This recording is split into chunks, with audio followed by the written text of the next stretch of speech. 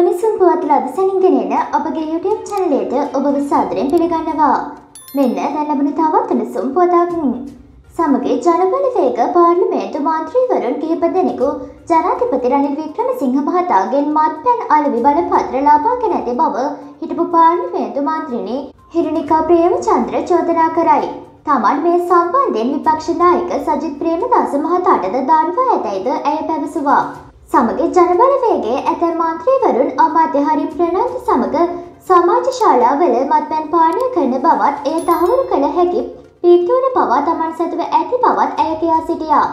මේ අයගේ නාම්කම් හෙළිතරව් කර උඩ බලාගෙන කළගැසිය නොහැකි බව පවසන ඇය මෙම කණ්ඩායම් දෙපැත්තේම කකුල තබාගෙන අවස්ථාවාදී ලෙස කටයුතු කරන බවද කියා සිටියා. ගුවන් විදුලි නාලිකාවක් සමග සාකච්ඡාවකදී ඇයි මෙම අදහස් පළ කරන ලදී. මෙවැනි උණුසුම් පුවත් ලද සනින් දැන ගැනීම සඳහා අපගේ YouTube චැනලය සබස්ක්‍රයිබ් කර බෙල් අයිකනේ ක්‍රියාත්මක කරන්න.